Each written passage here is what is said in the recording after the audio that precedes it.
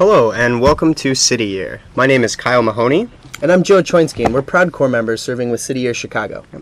Uh, tonight you're watching a live interactive call-in television, sh- television show brought to you by CAN-TV 21.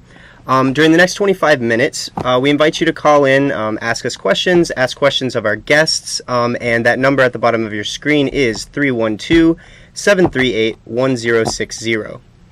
City Year is a nonprofit organization that unites young people of all backgrounds for a full time year of service and leadership development, giving them the skills and opportunities to change the world.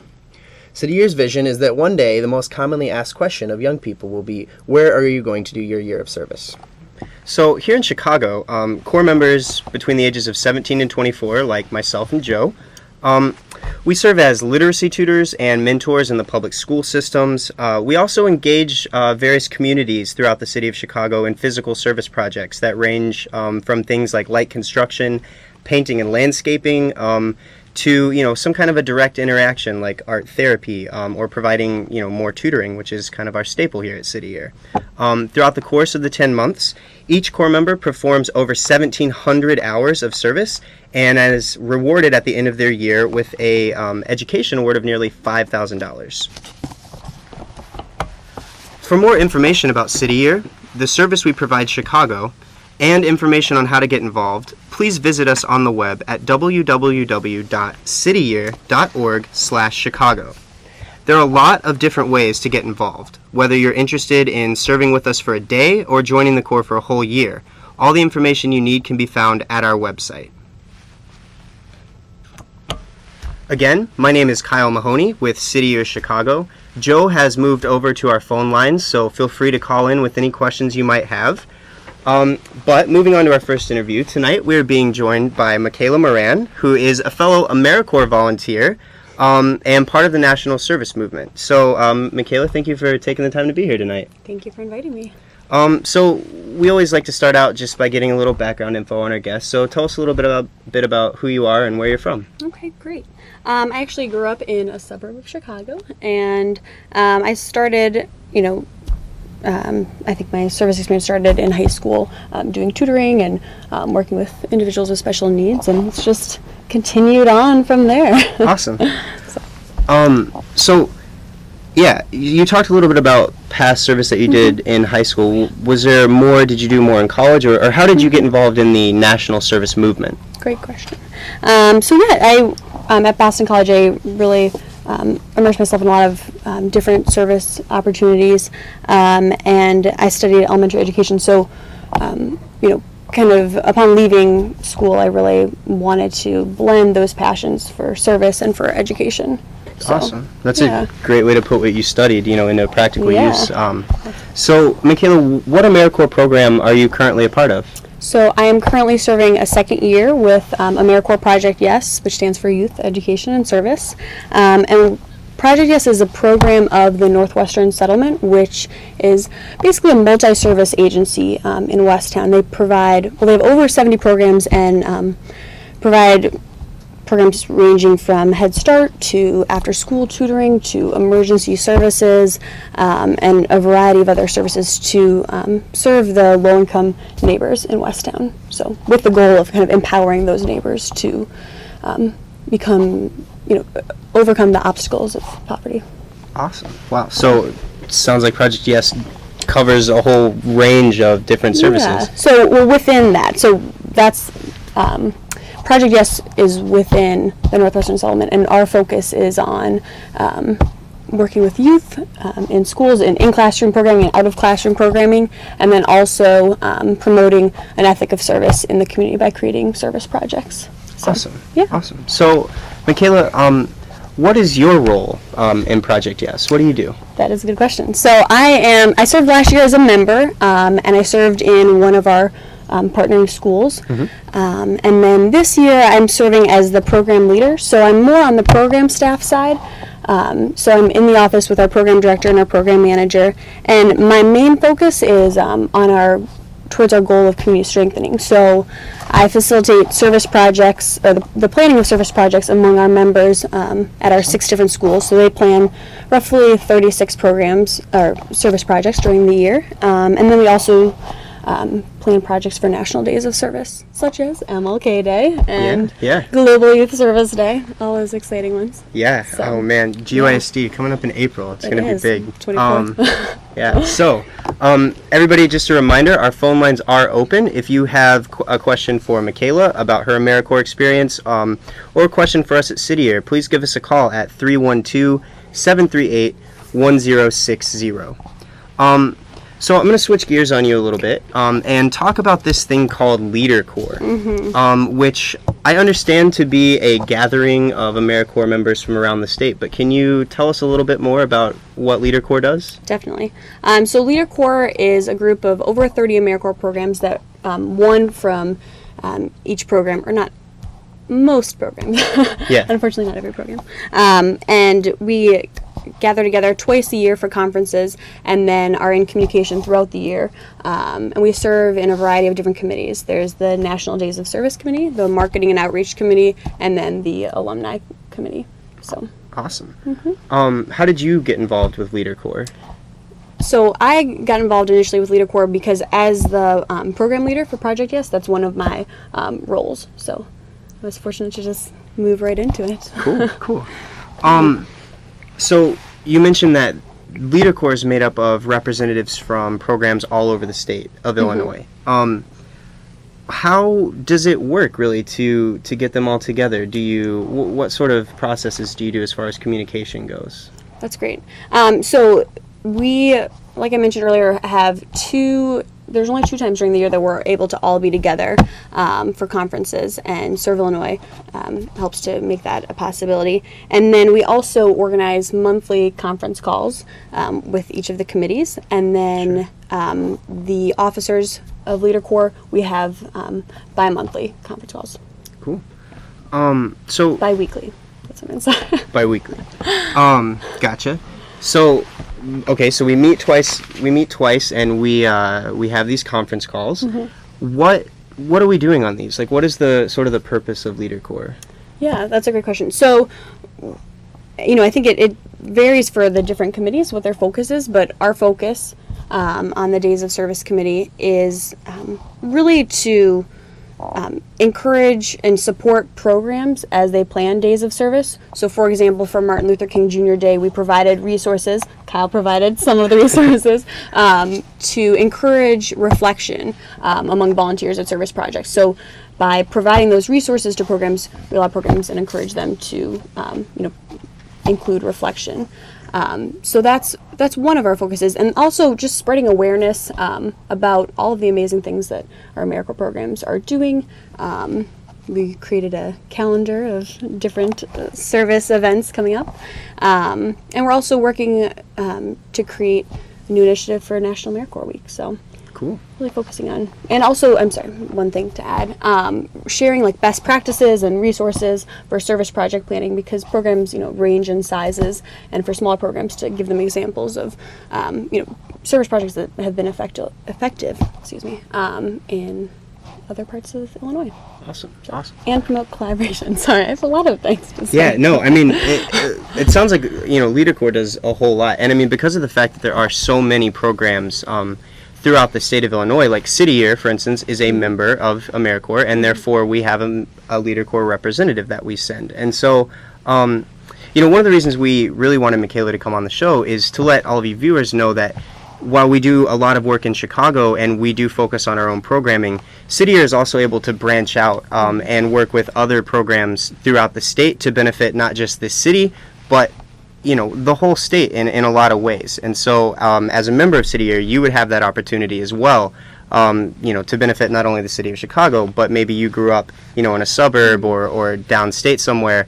You would have the chance um, through opportunities like Leader Corps uh, to get involved in places other than just the city.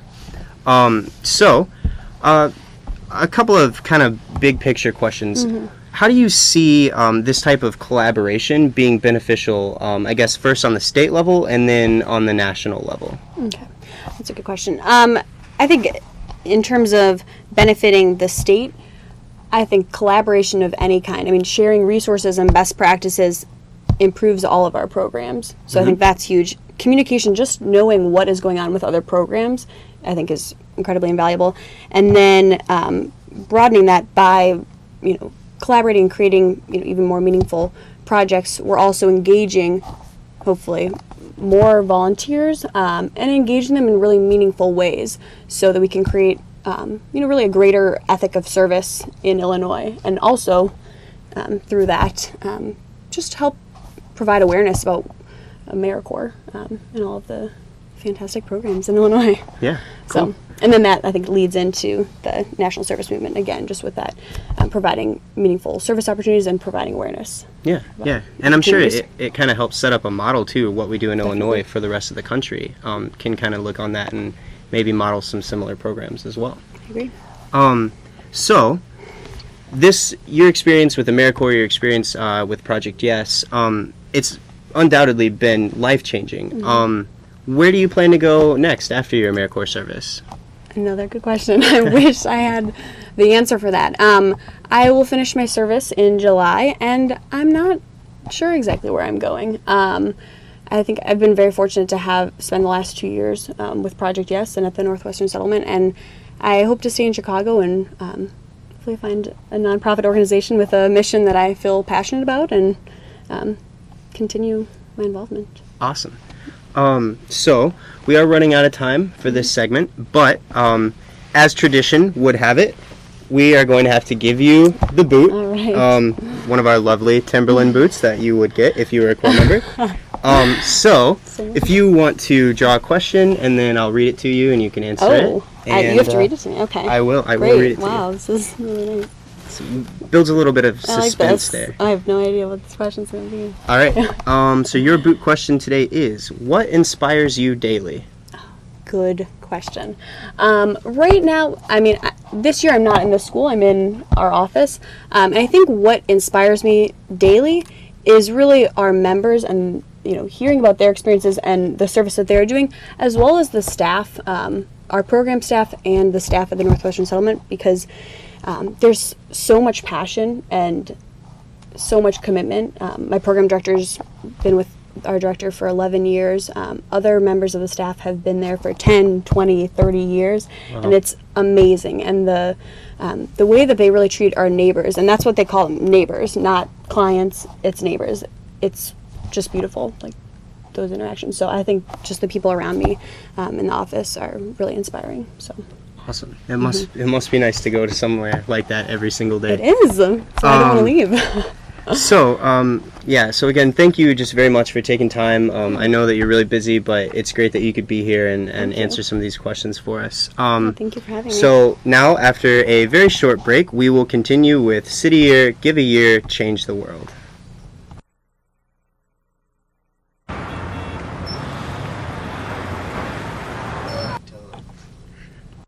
and change.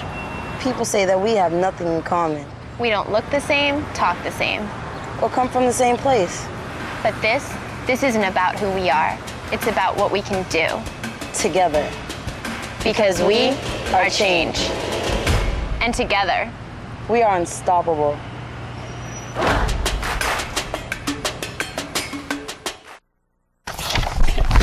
Welcome back. I am Kyle Mahoney with City of Chicago, and the phone lines are open. That number again at the bottom of your screen 312 738 1060. Please, please call us with your questions. We love to hear from you. Um, so, joining us now is Eric Huang, who is a team leader for one of our after school programs at the Sherman School of Excellence. Um, so, Eric, it's good to see you. Thanks for joining us. Thanks for having me, Kyle. No problem. Um, so Eric, as as always, we're going to start out with a little bit of your background. So tell us, you know, who you are, where you're from. Sure. Um, I'm 25 years old. I grew up in Arcadia, California. I went to school at Northwestern University, where I gra- uh, got a degree in biomedical engineering. Nice, nice. Um, so, you know, you mentioned you went to school. What were you doing before you came to City Year? You know, right out of school, I got a job with a large consulting firm, and I worked as a consulting analyst for almost two years, actually. Um, I was doing a lot of getting business requirements from clients and then translating those into different things that I would then test for, and uh, it was a lot of hard work. Awesome. Um, so why did you decide to make the switch then from the private sector to you know doing some national service? Well, you know, as challenging as my work was, um, at my last job, I didn't really feel like my work was helping anyone. I didn't feel like I was benefiting anyone. So when I left my job, um, that was something that I definitely focused on. You know, being able to make a difference in the life of someone else, and that naturally led me to service and volunteer work. Awesome. Um, so, as evidenced now by uh, Michaela and, and our talk about AmeriCorps throughout the state, um, we know that there are a lot of AmeriCorps programs and there are a lot of ways to give back to your community. So, what made you choose City Year? Um, you know, actually, a friend. Um, I had a friend who had previously served on City Year Chicago for two years, and um, I had been looking at a lot of different AmeriCorps organizations at the time. But having that constant lifeline to kind of tap and to just ask, you know, how was your experience? You know, what were some of the challenges that you faced? By the end of the hours and hours of questioning, I really felt like I had a feel for what the City Year experience would be like, and I actually thought that I knew everything there was to know about City Year. I was, of course, wrong, but I mean, the comfort level definitely helped in the application process. Awesome. Um, so, what's the biggest difference then in your almost two years in the private sector and then to now um, doing you know doing this kind of service? What's the biggest difference you've seen? If I could sum up um, the biggest difference that I've been able to to to glean from my experience in nonprofit, it's in one word. It would be flexibility. Um, you know, in my last job, we would have dates and deadlines that were set in stone, written into contracts, and they would never ever change. And part of the beauty of working in a nonprofit, especially one that deals with schools, is that things are always changing. You know, your resources, your dates, your deadlines. It's like every other day, I get a request that lands, you know, on my BlackBerry that lets me know that something is that is completely critical needs to happen by the end of the day, and that's just something that you you learn to deal with, and it, it's great for um, sharpening your time management skills and also just being on top of things. Yeah, cool. Um, so after these experiences, um, do you plan on staying in the nonprofit area in the future, or do you think you're going to go back and work more in the private sector again? You know, I'm not really sure of where I'm going to go after this year, but I do know that wherever it is, it's somewhere where I'm going to be able to continue the kind of service work that I'm doing, um, really making a difference in the lives of others. Cool. Um, so as I mentioned earlier, you are the after-school program leader, um, which has got to be a lot of fun. But um, how are things going over at Sherman? You have any exciting days coming up in your in your after school, or Uh, yeah, actually, um, last week we were talking about conflict resolution. Um, so it was a lot of bit, a lot about, um, you know, how to deal with conflicts in a way such that both parties come out feeling like they're winning. We talk call that the the win-win scenario. Um, we also talked a lot about I-messaging, um, how to express your feelings respectfully so that the uh, feelings of other people's aren't hurt. Um, you know, and uh, this week we're making some stress balls as a way to just, you know, get your frustration out in a healthy way that doesn't lead you to resort to having to take it out on somebody else. And uh, later on in the week, we're actually going to be making some peace globes out of paper mache as a way for the kids to help visualize what world peace looks like. It's going to be a lot of fun. that is yeah, that's Yeah. really cool. I please, if I can put in a request to the kids of Sherman, make me a stress ball. I need it. Um, so um, everybody, please again remember our phone lines are open. Um, we would love to hear from you if you have a question about what we're talking about or just about service in general, about City Year. Um, give us a call at 312-738-1060. Um, so, Eric, as you know, in City Year we have something that we call a starfish story. Um, and a starfish story is, um, you know, a reiteration of a transformative change that you've seen um, in your year of service. And usually this has to do um, with, you know, the youth that we've served. So a difference that you have made um, in the life of a child. Um, do you have a starfish story that you would like to share with us? Um, I do, but I, I can't wholly take credit for it. This is something that, um, you know, me and my entire team um, has done. There is a Awesome. one specific uh, kid, and I'm not going to use his real name, but just for the sake of conversation, we're going to call him Keith. Okay. Um, and from day one, you know, he was just a very emotional, very excitable kid. You know, the smallest thing would lead him into exploding and just yelling and um, we we you know over the course of of these past couple of weeks you know after pulling him out of the classroom and having conversations about you know how to maturely and appropriately respond to um, you know someone else making fun of you and um, after weeks and weeks of you know his team leader talking to him about you know ways to to respond maturely again. Um, you know, the other day I saw him. Actually, somebody had called him a name, and um, rather than explode like the usual way he, he usually would, he actually turned to the kid and said, "Mind your own business, please."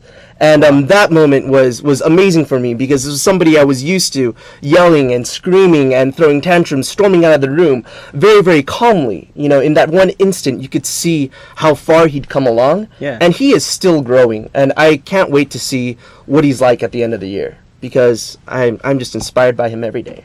Wow, that's that's really cool, and and good job, Keith. You keep that up. Um, so Eric, you you got into it a little bit, I think, with the starfish story. But what do you think um, is the most tangible benefit that children receive from our after-school programs? Um, that's a really good question. You know, during our after school program, we do do a lot of homework help, but I feel that the, the, the part of our after school program that kids can really take away um, from it is that the positive kind of social interaction that that they learn to, to have with others. Um, you know, a lot of our our program is structured on leadership development and also learning about how to properly conduct oneself in a peaceful way without having to resort to violence or name calling, just kind of healthy ways of communicating and expressing oneself. And um, that's, I think, the area where I've seen the most growth personally. Awesome. Yeah, and that's I mean that's incredibly important. I know that the Chicago public school system is um, has just re- done a new initiative about you know having peaceful schools and about learning to control you know issues or conflicts with you know nonviolent solutions. So um, that's awesome that you guys are able to do that in your starfish programs. Um, so Eric, what would you say to somebody who is thinking about joining City Year? What would I say? Um, I would say that City Year is definitely one of the few places where you can go in for a year and really make a difference in someone else's life. Really make an impact and make a change. And there's, I mean, there's not many other places where you can go and, and do that. And um, that has just been so powerful and inspiring for me this year. I'd recommend anyone to try it. Awesome. That's a that's a great endorsement. Very good. Um, so I mean, unfortunately, our time is is getting pretty short here. Um, so we are going to give you the boot, Eric. right. Unfortunately, um, again, Timberlands. You'll get it if you join City Year. Um, All right, please. so I'm gonna go ahead and grab the question, hand it over to you, right? Yes, sir. All right. go. Um, so you are given just a small weekly stipend. What is your secret indulgent splurge? My secret indulgent splurge is um my girlfriend. Um, I, I I don't have very much money to work with, and so every little bit that I can save up, I try to take Cece out uh, to a nice dinner every once in a while. That's man, you're the man, Eric. That's all I gotta say. That's a great use of the little bit of extra money that we get um, in our stipend. Um, so, Eric, again, thank you very much for taking the time out and, and coming to share with us uh, your experiences in the city. I really appreciate it. Great, thank you very much, Kyle. Yep. Um, so, before we leave you this evening, uh, we would like to go to what we call our service spotlight, um, which is where we highlight a different part of our service um, each week. We serve Chicago in a lot of different important ways, um, and so we like to highlight one on the show. Um, so, today, let me get it ready for you for just a second. Today, our service spotlight is on the new City Year Chicago blog. Um, launched just recently, the blog is a great way to see some of the work that we do here at City Year. With videos and posts from the corps, it will give you an, an inside perspective on what it is like to be on the forefront of national service right here in Chicago. There are new posts a few times per week, so make sure to check back regularly. Um, today's post happens to feature a starfish story, like the one Eric just told, um, by a corps member named Tim Nystrand, who serves at Howe Elementary School. Um, the address for this blog is cityyearchicago.wordpress.com. Please check it out and uh, leave us some comments. We'd love to hear what you have to say. Um, we are running out of time for this show. thank you again for tuning in to City Year, Give a Year, Change the World, brought to you here on CAN TV 21. Um, we will have another special guest and another senior corps member here for you next week, so feel free to tune in again. Um, finally, if you are interested in learning more about how you can give a year and change the world with City Year Chicago, please visit our website at www.cityyear.org slash join us or call our recruitment manager at 312 423 7179.